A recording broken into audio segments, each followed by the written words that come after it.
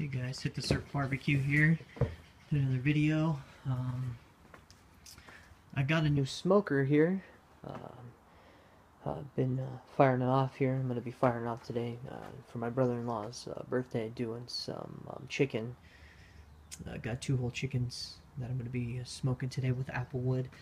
But um, I got a new smoker here. It's a char griller and um, I didn't buy it actually. There's a there was a site, sort of like a Craigslist, but like a free local site that uh, had, you know, people put things on there, and actually this was on there for free because it was a uh, a girl had it. It was her boyfriend's, and uh, she kept it and uh, just drug it around forever and never used it. It sat for a year, and the firebox was in pretty rough shape, so I uh, repainted it and um, and everything. So uh, looks really uh, came out really good. Um, you know, I'm not a pro painter, but um, came out good. The rack was beat to beat to heck, and um, but that's okay. Uh, all in all, it's, good. Um, the wood's still good. Everything inside, uh, I cleaned it out.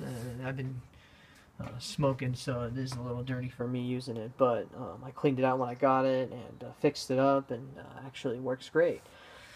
Got my own thermometer because this thermometer is a piece of junk, and then I use that thermal paste around here to, uh, you know, close any gaps for any smoke.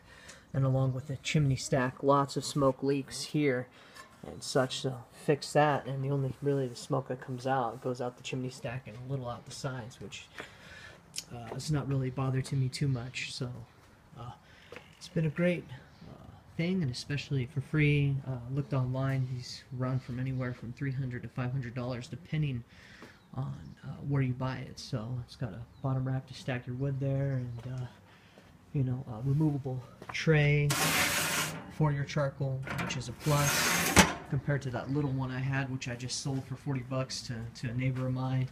And uh, got this for free just to fix her upper, and uh, you know, it's, it's things like that we keep looking out for. So um, keep on smoking, and this is my update video with more to come, and I'll be putting videos about the chicken. See you for now.